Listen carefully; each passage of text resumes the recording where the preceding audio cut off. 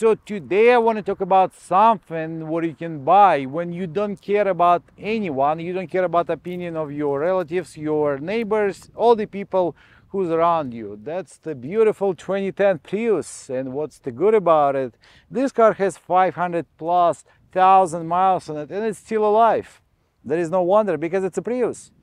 So again, there is a lot of those cars on the market. There is a lot of cheap cars, salvage one or rebuild one, or from the taxi cab. If you're gonna come and check those super cheap Priuses on the Craigslist, they're probably gonna be half alive, but you might gonna discover there is a, like three or four different stages of different kind of paint. So the car used to be white, and after it got yellow, the other ta taxi company bought it, it got green, and now it's white. So when you check in that, that's like the wow, insane. And that car gonna be still alive because it is up for sale. So this car not gonna be for sale, and it's not sellable unit. It's just a unit reminding myself and everyone the Toyota made it. So any Toyota can make it, not only this one, but this one particular, it just, you can put the monument for this unit because it's super strong, it's super good. I mean, still right now you can drive it freeway, you can drive it city, AC is super cold, the car is under control, so the steering wheel not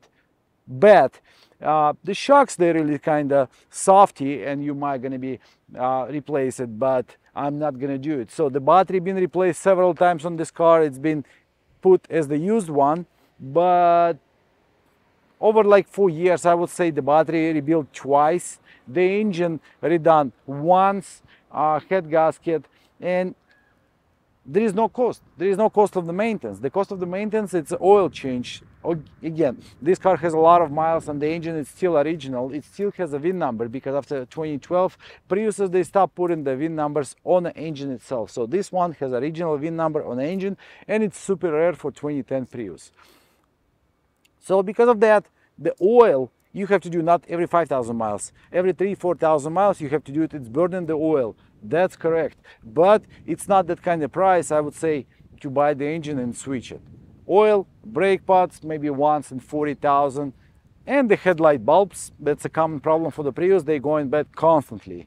Uh, what else is going bad? The small battery, 12 volt, the one sitting in the trunk, maybe once in two years you have to replace it and it's cost about 100 maybe 120 to do so. That's super cheap. That's why sometimes in the city you might gonna see old Priuses like that driving, they're all dirty, they're all like kind of on the bolt tires. It's not because the people don't have money, because people they used to the car and the car not given any problem and they just ah it's okay. They forgot how and what they're going to do with the car, how to do the maintenance, why they have to do it, because the car not given any problem. They just keep driving. There is a lot of homeless people driving Priuses, and I was like, what's going on? But the Prius C, a regular one, you might gonna see people living inside the car. It's just insane. I mean, I did see the old Mercedes as people living in, but they're not driving, they just living. But the Prius, you know, they traveling all around the city. Today they're living in Santa Monica, tomorrow they're living in Malibu and Newport Beach because they do have a Prius, the one is never breaking up. So they keep driving and keep living. There is low cost of life. So still that's the 2010 Prius and the design of this car, it's not bad at all. It doesn't look like super old car in good condition this car looks good in the white color especially. So you can see there is a lot of uh, wear and tear signs. For example that's original door and original paint. It just peeling off and somebody spray can it just to cover the the metal itself. But it is a pearl. It is a three stage uh, paint and the clear not peel enough yet. Some of the Toyotas, same production years, they do have a problem with the clear and the clear just fading. So this car, white color, it's not fading yet, but sometimes it is peeling and you might gonna notice that too. So the fuel efficiency on this car, that's the best one from all generation of this body. It's a fourth generation, I think so. Oh no, third, right? One, two, 2004, it's the second one. Yeah, this is the third generation of the Prius. In 2010, I think what they did, they did max what they can so they can attract a lot of people. The people who's gonna buy it keep driving and they're gonna say, wow, I want a new one. So after two, three years of lease, they keep buying a new one. But this car was so good and it's still so good people start getting it on Uber and keep driving it. No problem. Uber bringing you money. You don't have to spend any just payment for your lease. That's how this car become legend, an icon uh, for the Uber drivers.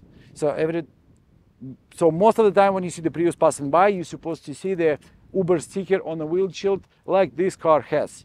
Because Japan, they produce this car especially for Uber. I think somebody from Uber from Uber called them and they say, you know, we're gonna launch this kind of taxi and we do need a lot of drivers on the street, so please bring us something, make something really nice and strong. And Toyota say, you know what, we're gonna give you Prius because we do have a technologies here in Japan since 90s, we're gonna apply it for this car and bring it to you on your market.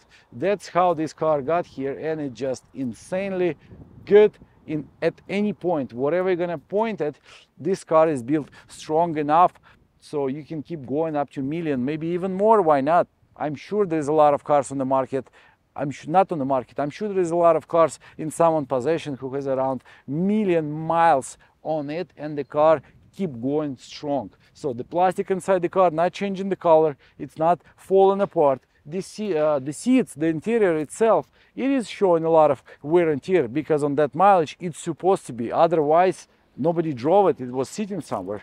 So in general, car is really strong. What's going on under the hood? I mean, under the hood we do have an engine, we do have a coolant reservoir tank which is full and I'm not adding any. Even this car already passed more than 40, I think it's close to 50,000 miles after the head gasket done. And uh, there is just nothing going on here. The only reason why I'm opening the hood sometimes or somebody else, because you have to replace headlight bulb. That's a common problem. And uh, that's it. The design is still kind of fresh, 13 years old car. It looks okay. It doesn't look like it's brand new, but it looks okay, not ugly at all. If you're gonna do detail, polish it a little bit and clean it, nobody even gonna say this car has half million miles on it and it's still running, still driving, still AC blowing and there is no problem at all for daily usage. As you can see, there is a Uber sticker on the windshield and it's there for purpose. So as I'm not doing the super nice review about dimension, about the horsepower, what's the horsepower left and this and that, I'm just talking about the size because it's a used car, every, not everybody, but a lot of people want it, a lot of people buying it. So what do we have in the trunk? In the trunk we do have a lot of space. Again, the seats they are going down, you can put a lot of stuff. What's cool about here, we do have a lot of space for the spare tire. Spare tire, we do have done it, all the tools they sit in here. The small battery, 12 volts, it's sitting right there on the side, not like a Prius C. And space inside the trunk, just a lot. So if you want to hide some stuff, you can open it and put it down there. There is a lot of space here, there is a lot of space there. Since we're living in Los Angeles and sometimes people might gonna check what's going in the trunk and just try to break the window, you do have this nice cover it's kind of used a lot. It's kind of used for 500 plus thousand miles, but it's still there, still alive, so you can cover your stuff and just not bring in more attention. You can put yourself, if you want to, you can do some nice, uh, some nice dinner at the beach, you know, put some stuff here, some food, and uh, it's good. I mean, the car is really good. It's good for the family. Uh, if you don't have enough money to buy something super decent, this car is really decent. You just, if you if your mind gonna put yourself in this car, you're gonna enjoy it. Believe me or not, enough space for the stroller, enough space on the back for the kids, and for the parents on the front. Plus, it's saving you money. And um, what about the crash test? I have no idea. I mean, I mean, Prius has been involved in super crazy accidents. You're probably going to see a lot of videos on YouTube. But what I'm usually checking, if I want to know if the people crazy or not, uh, you just going on the Copart or you go on the AI, whatever uh, websites where they sell junk cars. I'm not buying over there. Sometimes I'm selling some junks, but I'm not buying there. But you're going to see what's the Prius's uh, looks like after the huge accident. It's just crazy. So the interior of this car, it's kind of not super huge, but it is big. So what's the common problem? Door panels, they are because when you sit inside the car, you're trying to put your whole body on a door panel. I don't know why, but they constantly breaking, constantly, just not constantly, always. On the old Priuses, they do have the same problem. all of them. People just like not getting it. It's not the table, it's just the door cover, door panel. So what else? The blower motor for the for your EC, sometimes it's getting stuck. It's a $40 or $30 on Amazon. You can replace it yourself. It's a three screws on the bottom easily. If you jump in the Prius, you turn on the EC and it's not blowing, just hit right there. And that's it. It's gonna start working. After 500 500,000 miles, it's been replaced several times and still sitting Chinese part for cheap just because I want to prove it. So I prove it and improve it. What's going on on the back? On the back, more than enough space. There is a small filter for the battery. Again, a lot of people, they don't know about it, but you have to clean it sometimes.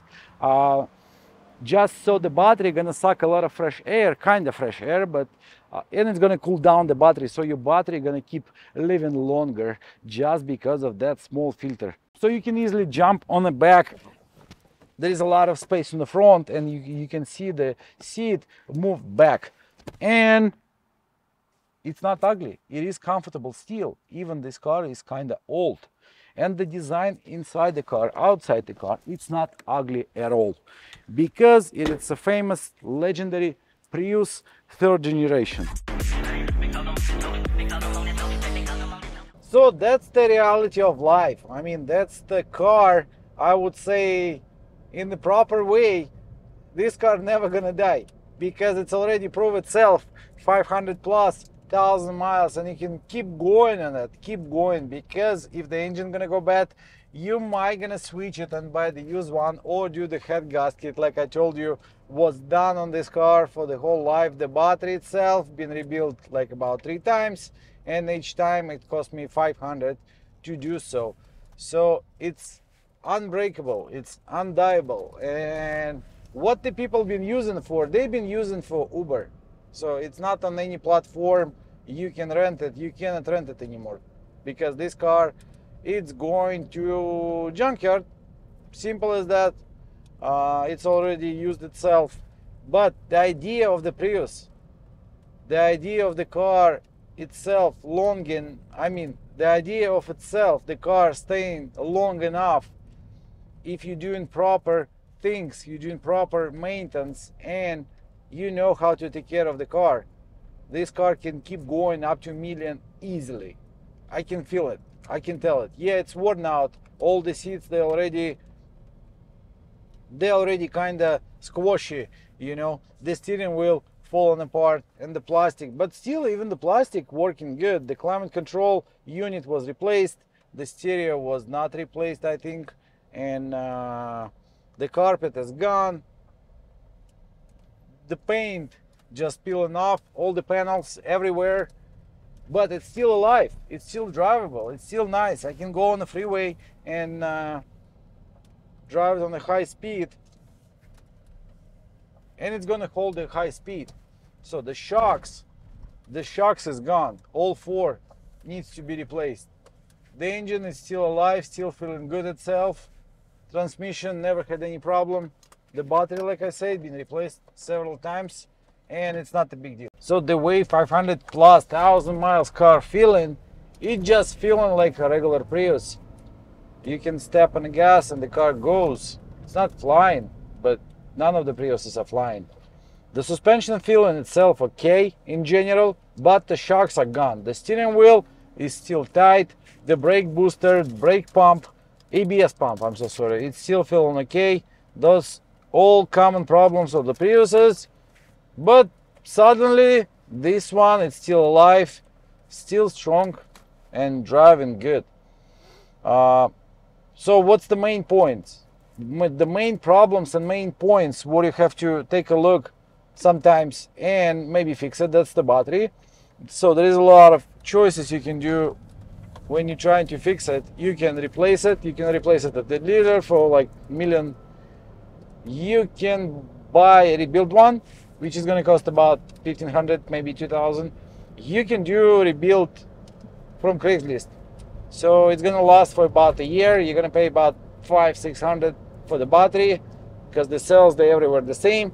And the engine when it's going to start knocking your coolant level going down means the head gasket is gone. So if the head gasket is gone and you didn't drive long enough to damage the crankshaft itself and the bearings, you might gonna be able to fix it with only head gasket set and machine shop. So it's gonna cost you about 1200 to fix the engine. What else? There is nothing else. The Prius just goes. I mean, Toyota itself is doing really good. I would say tremendous job to make those kind of cars and engineering because the engineer, whoever produced it whoever make it happen somehow uh, they just made unbreakable car. If you have the other opinion please share it with me or show it to me. You have the other car you have 100 or 200,000 miles you constantly having a lot of problems you cannot fix it. But I'm gonna tell you the opposite way. This car 530 whatever 500 plus thousand miles the car still feeling good itself. The AC is super cold. Uh, there is no there is no warning lights. The head gasket itself was replaced about 40 maybe 50,000 miles ago. It's still good. The coolant still up to full level and uh, no problem at all. The oil change I'm doing constantly on all the cars and especially on this one. The oil change going constantly and the tires brakes they checking it. They they fixing it when it needed. So basically like I say this car uh, been used for Uber all the time. And uh, people just didn't care whoever buy uh, whoever renting the car and driving it they're not gonna drive it like it's their own car. They're gonna drive it as rental. So the Prius doing still really good job and still surviving. It doesn't matter what. The parts for this car, some of them they are expensive, but most of them they are cheap. If we're talking about the body, we're talking about something like inside the car.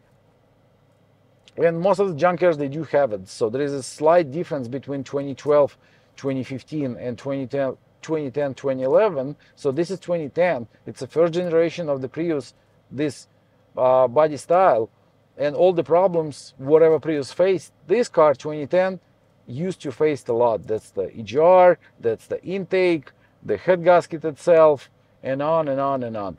Small things but uh, it makes huge difference if you're paying attention and fixing it on time so thank you so much guys for watching it. Put some thumbs up put some comments below and see you next time